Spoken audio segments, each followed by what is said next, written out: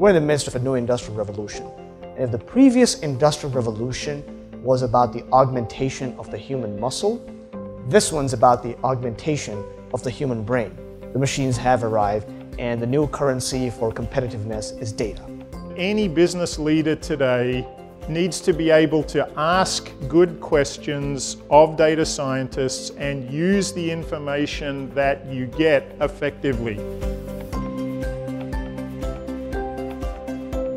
The first challenge is marketing. In marketing, we are always so focused or traditionally on the brand metrics and what happened. That is the first thing you have to broom. I think you've got to get your sales team, your CFO, and your marketing leader all aligned on the exact same business metrics because that is the point. That's why we're all there. Brands that have momentum and are growing are the ones that people love.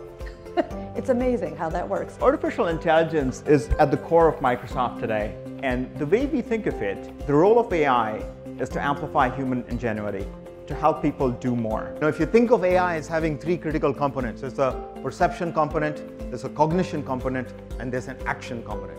If you want machines to behave and act as humans do, those are the three things that a machine has to mimic. It has to perceive as humans do, it has to have cognitive abilities as humans do, and at the end of the day, it has to take some action. You need a champion that can drive adoption of the analytics.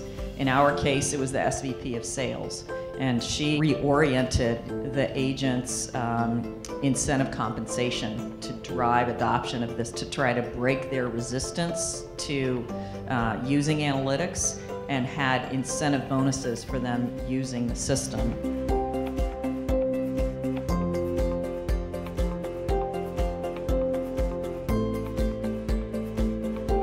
Decades-old framework of customer, shareholder, employee is insufficient. It should be customer, shareholder, employee, and society, and you should think about how to do that. Analytics is going to be the backbone of all organizations. They just don't know it.